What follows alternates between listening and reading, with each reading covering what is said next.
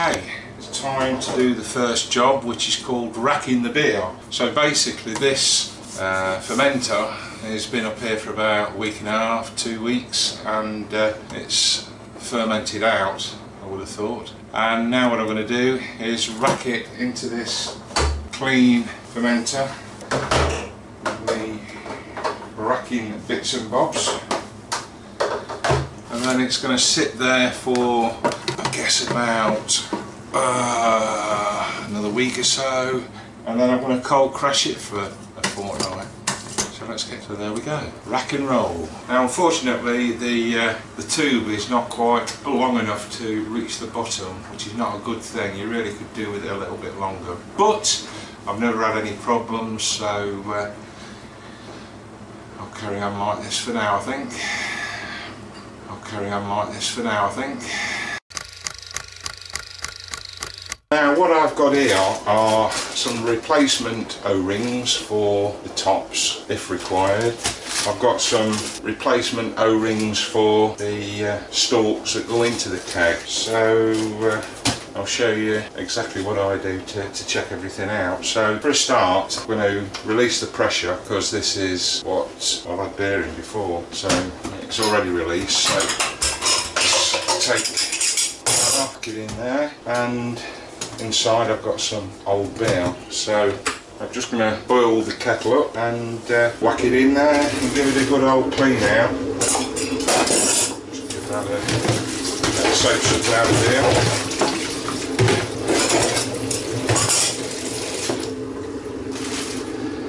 and put some boiling water in there. And what this is going to do is just give it a good clean out and uh, sanitize it a little bit. So I'll her up with that on to boil, Put the lid back in.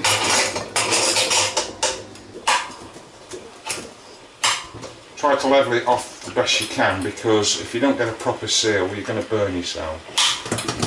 So I'll put that out of the way for a minute and uh, try not to grab hold of the, of the metal you'll hurt yourself, you'll burn yourself because it does get hot in there. So just give it a whiz round for a few minutes. And then let off the uh, gas and get rid of the old beer. Watching that you don't burn your fingers at the same time. So that's what I like to do. Closely followed by in the thing up again with warmish water.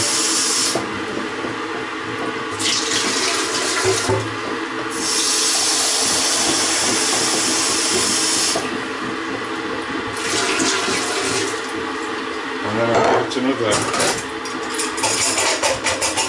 whiz round.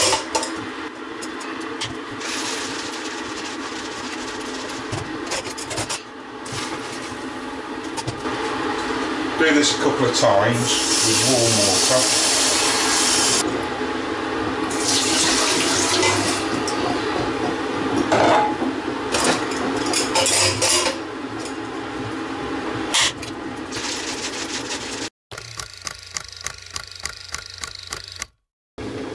So boil your kettle again and then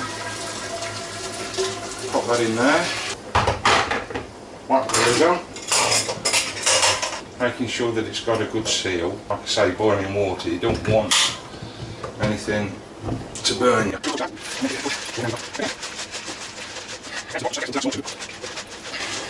Right, once you've done that for a few minutes, get a tap dispenser if you've got one and pop it on the out one and just empty it through the uh, through the tube with boiling water. So what this is doing is is cleaning the the stainless steel pipe that goes to the bottom of the uh, of the keg. You can also use this to clean your pipes out as well, the beer lines if you like. This is just a spare one that I use for cleaning out. So that's emptied out now. So let all the air out, undo that. And the next step is to unscrew the two pipes. So that's what I'm going to be doing next. So let's take these out, just a old bed spanner if you've got one, or any other spanner that will fit. So just carefully undo these. Obviously make sure there's no pressure in there, you can actually take it off. So that's the, uh, the grommet that uh, fixes in the top. I don't think it's called a grommet, but and then just gently push the pipe out and what I shall do is check on that rubber in fact I normally because I've got loads of them I normally uh, replace them every time I do this. But you can just inspect it and make sure it's okay. But for me I take it off and whack it in the bin. So I'll leave that in there for now and the same goes for this one. Now I normally on the threads when I replace them is put this white I think it's called TPF uh, tape on there. Let's just take that. Take that out. Take the rubber off. Because I want to replace those. And I'll have a look at these. They don't look too bad. The rubber's on there. Uh, I may just leave on because they don't look too bad so next I'm going to get some PTF tape and uh, wrap it round there it should be pretty clean inside now because I've got rid of you know the crap and uh, what I'm going to do is PTF tape and then I'm going to clean all these off for a start. These should be pretty clean anyway and uh, I'll show you what we do next.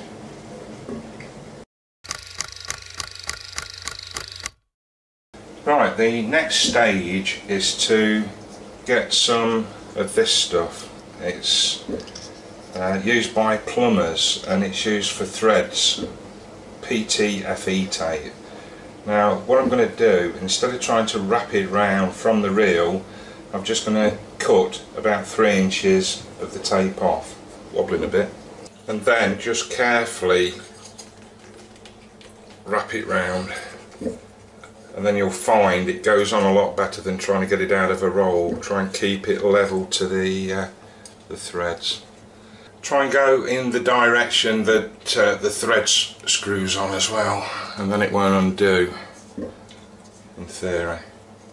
Now obviously there's a, an in and out on on the keg itself and if you have a look you should be able to see where it says in and out so obviously the the long tube is the out tube. So we'll put that one in next.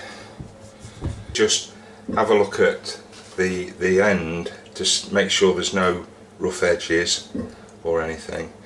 And then I'm going to put a new rubber on. Now when I put a new O-ring as I call it I always put some of this uh, what I call sexy gel uh, you, you, guess what it is but basically it's uh, food safe. So I'll get a bit of, of the gel just like that. Hardly coming out just rub it on the on the top. And just whilst it's on your fingers just bung some more gel on it. That's all you have to do just rub it. You don't want loads on just a little bit and then slide it down the, uh, the pipe there we go and you want it a nice fit onto the end. So remember that is the out pipe so or slide it down there. Now you notice that that's got a bend on it so that it goes to the centre down at the bottom and there's a little indent in the bottom of the keg. So I'll push that down.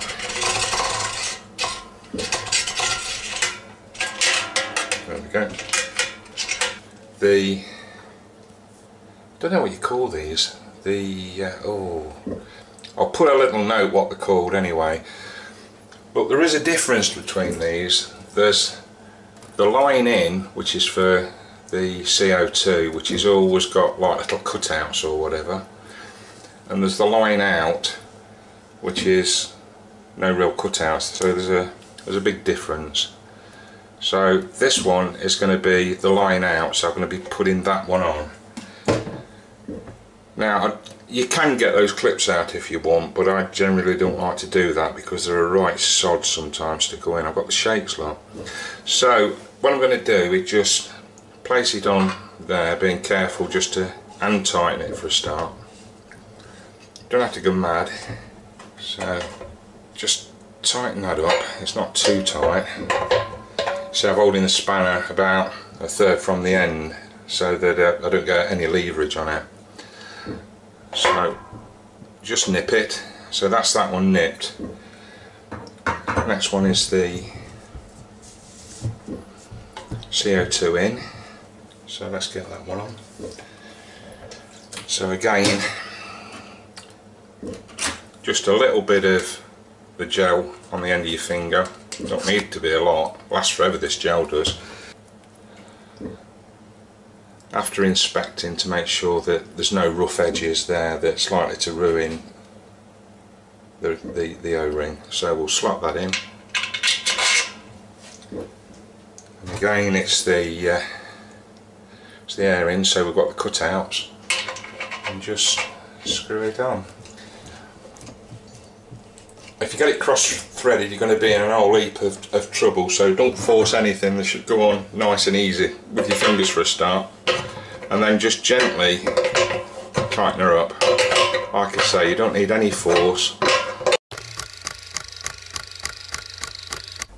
Okay, we've come to the time now where this uh, has been cold crashing for about two weeks. Really cold temperature, as cold as I can get it. I haven't actually uh, found out what it is because I've not dipped my thermometer into it, but I siphon it out and in we go. Now, already it's quite clear as you can see. Wish these bloody bends weren't in this pipe.